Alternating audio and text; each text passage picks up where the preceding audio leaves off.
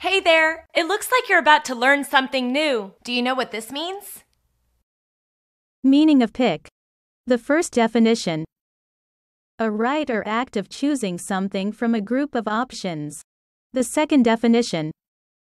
A blocking or screening of a defensive player by the ball handler. Awesome! You learned that quickly. Let's put it in a sentence to understand how to use it. How to use pick in a sentence. The first exempli. Organic soups are often comprised of freshly picked vegetables and beans. The second exempli. Flora dropped a pile of freshly picked fruits next to him.